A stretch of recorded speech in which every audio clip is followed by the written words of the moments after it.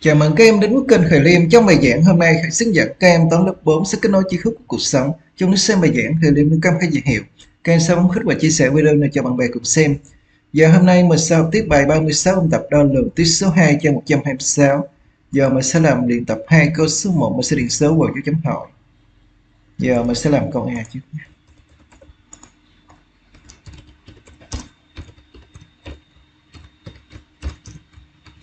Giờ như là 1 cm, các em nhớ là 1 cm sẽ bằng 100 mm vuông.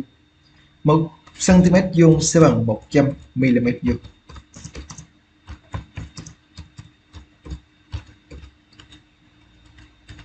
Như vậy có nghĩa là 100 mm vuông sẽ bằng 1 cm vuông.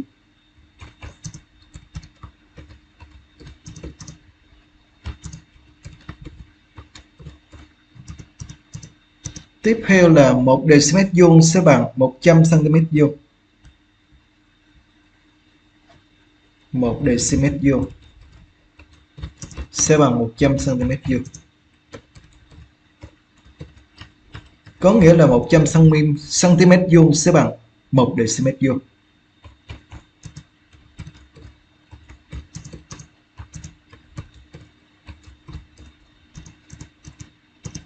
Tiếp theo là 1 mét vuông sẽ bằng 100 dm vuông.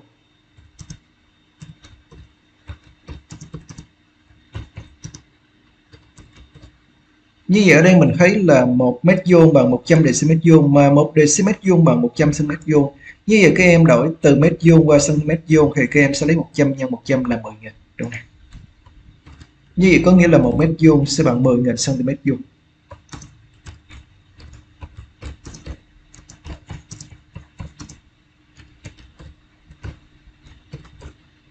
Theo mình sẽ đến câu B.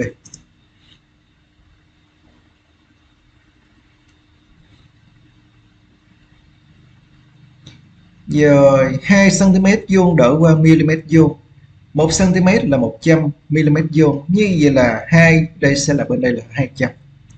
Như là 2 cm vuông sẽ bằng 200 mm vuông.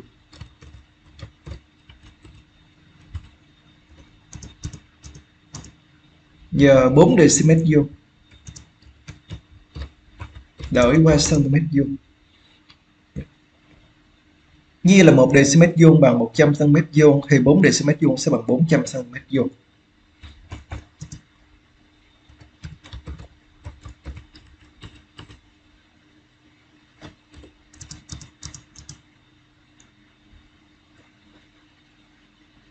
Giờ tiếp theo là 3 mét vuông Đổi qua decimet vuông, 1 mét vuông bằng 100, như 3 mét vuông sẽ là 300 decimet vuông. Rồi, 1 mét vuông khi bằng 10.000 cm vuông như là 3 mét vuông sẽ bằng 30.000 cm vuông.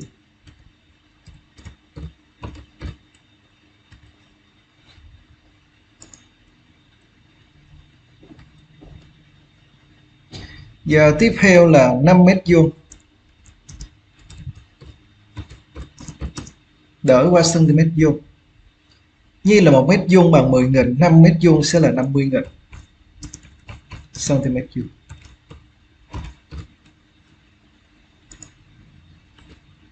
Tiếp theo 1 dm vuông 6 cm vuông.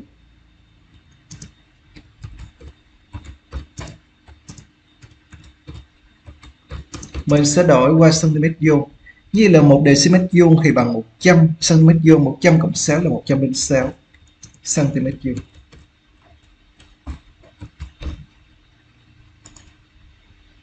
Giờ một mét vuông 5 dm vuông.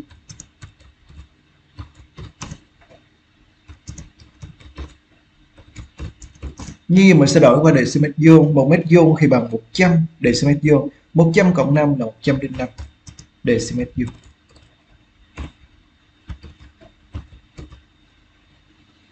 Giờ tiếp theo mình sẽ làm câu C luôn.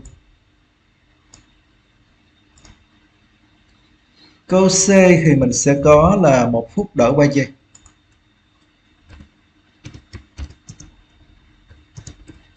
Như một phút thì sẽ bằng 60 giây.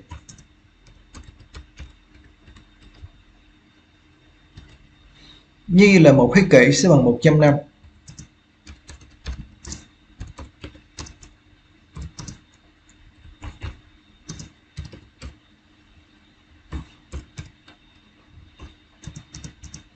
Tiếp theo là 1 phút 30 giây đỡ qua giây.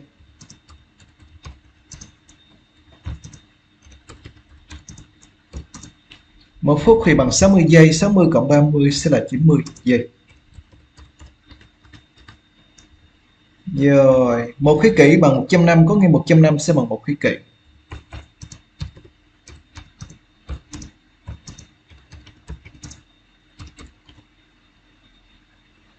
Dạ như là mình xong câu số 1, câu số 1 kem hiệu bài, cái xong khích video hãy với kem hiệu bài.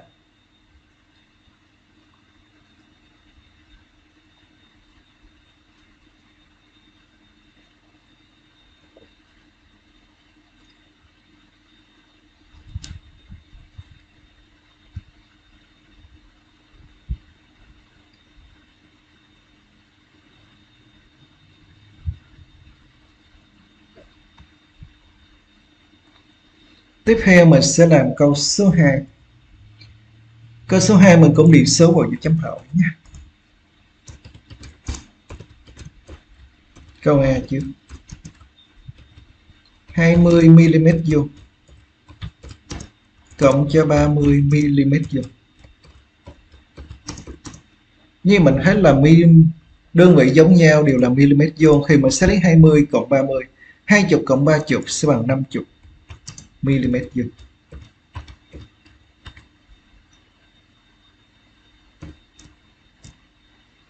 tiếp theo là 36 cm vuông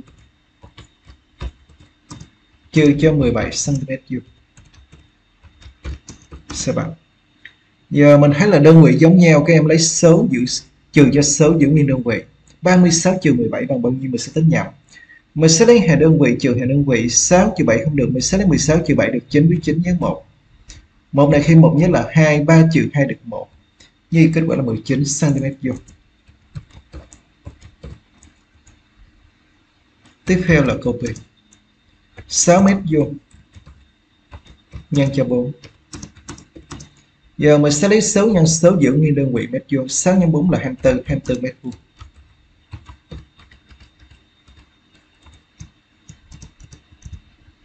Tiếp theo là 30 dm vuông chia cho 5. Thì mình sẽ lấy 30 chia 5 sẽ được 6, 6 dm vuông. Giờ như là mình xong câu số 2, câu số 2 kênh hiệu bài. Các em sẽ bấm hết video hãy biết kênh hiệu bài.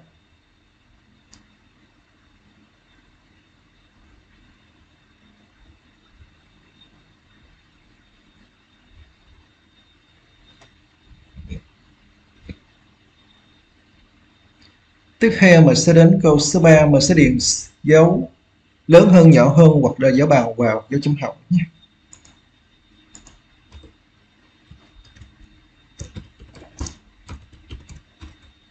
Câu A chứ. Giờ 2 cm vuông 50 mm vuông. Giờ chấm hỏi 250 mm vuông thì mình thấy là 2 cm vuông đổi qua mm vuông như vậy sẽ sẽ là 200 200 cộng 50 sẽ bằng 250 ở đây mình sẽ viết cho bạn.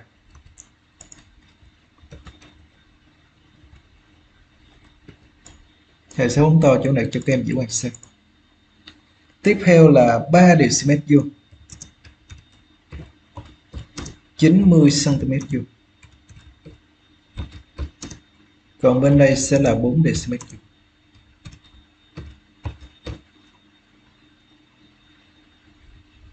giờ như là hệ sẽ tính nháp vô này. Như vậy trước hết mình sẽ đổi cái này qua sang mét vuông bên đây mình cũng đổi qua sang mét vuông giờ mình so sánh nha. 3 dm vuông 90 cm vuông mình sẽ đổi qua cm vuông như vậy là 3 dm vuông đổi qua cm vuông là 300 300 cộng 90 là 390 cm vuông còn bên đây đề cm vuông mình sẽ đổi qua cm vuông như là 4 nhân cho 100 là 400 như bên đây sẽ là 400 để cm vuông như là 309 sẽ bé hơn 400 đúng này như chỗ này mình sẽ điền dấu bé hơn. Tiếp theo mình sẽ làm câu C. 2 mét vuông. 5 dm vuông dấu chấm hỏi 250 dm vuông. Như vậy là 2 mét vuông đổi qua dm vuông là 200 200 cộng 5 là 205 còn bên đây là 250 205 phải bé hơn 250 nên chỗ này mình sẽ điền dấu bé hơn như vậy là mình xong câu số 3 câu số 3 kem hiệu bài cái xong khích video thì kem hiệu bài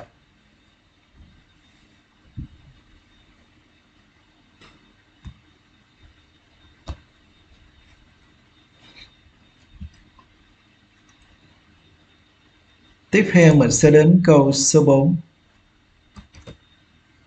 Câu số 4 người ta kêu mình dùng, hãy dùng thước đo góc để đo giờ viết số đo của các góc đỉnh B, cạnh BA BM và góc đỉnh M cạnh MA MC.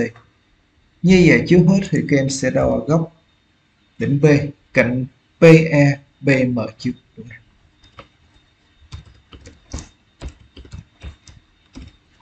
Giờ các em sử dụng thước đo góc các em di chuyển thôi như vậy ở đây mình sẽ có là mình sẽ di chuyển tâm khước trùng với định B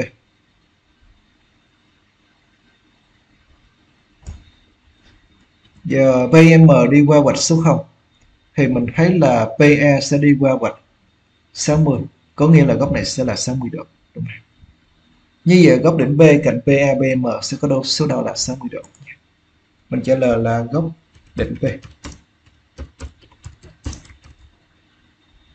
Cạnh. PE PM.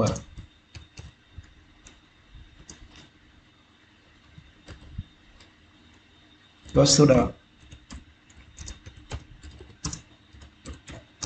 là 60 độ.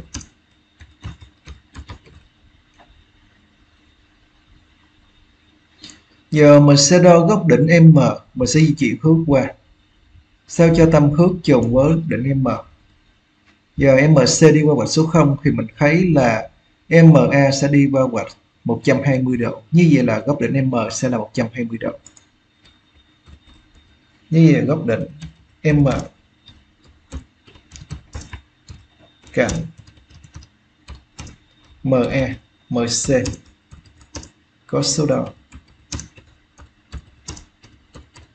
là 120 độ.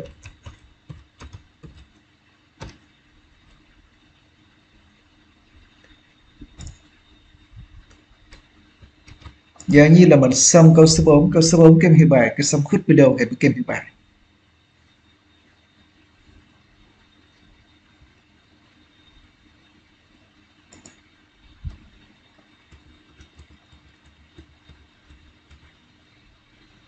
Tiếp theo mình sẽ đến câu số 5. Câu số 5 đề bài nói là một mảnh đất dụ, một mảnh đất trồng rau Mảnh đất trồng rau hình chữ nhật có chiều dài là 15 m, chiều dài hơn chiều rộng là 6 m. Tính diện tích của mảnh đất đó. Như vậy ở đây người ta nói là mảnh đất trồng rau hình chữ nhật có chiều dài là 15 m, chiều dài hơn chiều rộng là 6 m. Như vậy là chiều dài hơn chiều rộng, có nghĩa là chiều rộng sẽ kém hơn so với chiều dài là 6 m. Thì bây giờ chúng ta sẽ tính chiều rộng của mảnh đất chứ bằng cách lấy 15 chiều sạc như vậy là lời giải thứ nhất sẽ là chiều rộng. Mảnh đất. Hình chữ nhật lại.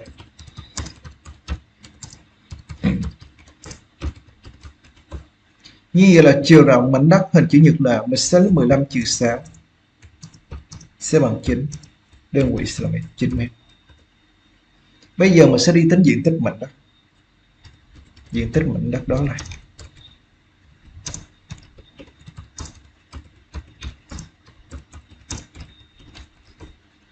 Tính diện tích thì mình lấy chiều dài chiều dài là 15 chiều rộng là 9 15 nhân 9 mình sẽ tính nhẩm chỗ này 9 nhân 5 là 45 viết 5 nhân 4 9 nhân 1 là 9 thêm 4 là 13 135 mét vuông.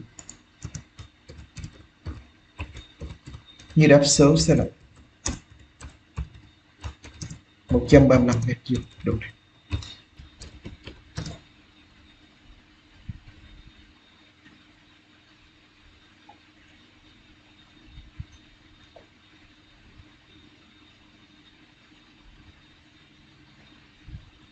Giờ như là mình xong bài giảng hôm nay nếu các em thấy giảng dễ hiểu và thích chia sẻ cho bạn bè cùng xem và hôm nay chưa đăng ký kênh Hệ Liêm, các em sao bấm nút đăng ký bấm chuông để xem bài giảng mới nhất Hệ Liêm. Hãy chúc các em học tốt tạm biệt các em nhé.